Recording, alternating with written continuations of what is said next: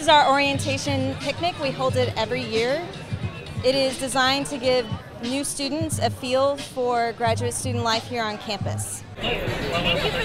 We've held it in conjunction with the activities fair so that students can get a chance to meet new clubs on campus as well as the GSA. Well, I think it's great, first off, like it's a first impression of knowing that, first off, you're not the only one from your country, most likely here. Like there's a lot of other Mexicans in my case, there's a lot of other people from different countries. At the same time, it's cool to see that, you know, there's a lot of international students. So even though you're not from the same country, there's this whole bond of like, oh, we're in the same situation of like, it's a new country for us. It's a new culture, so it's, it's cool to get to know them. It's my first time to be US, you know. My first time in Houston. It's great. I never have been something like this. And, you know, in China, we don't go through like this. It's cool. You get to see, okay, we're all like from different places, but this is an American thing, it's a barbecue.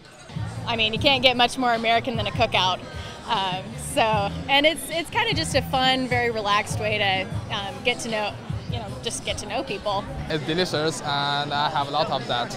I have two hamburgers. I could talk to some people from different country, from different department. Basically, we are living alone in our labs, whether or not people admit it. We uh, hole ourselves in in our laboratories, and this is the perfect setting for us to get to know each other uh, so that we can hang out with each other outside so that it's not so uh, study or work oriented. And, and if they didn't do this, they might really hold themselves in completely.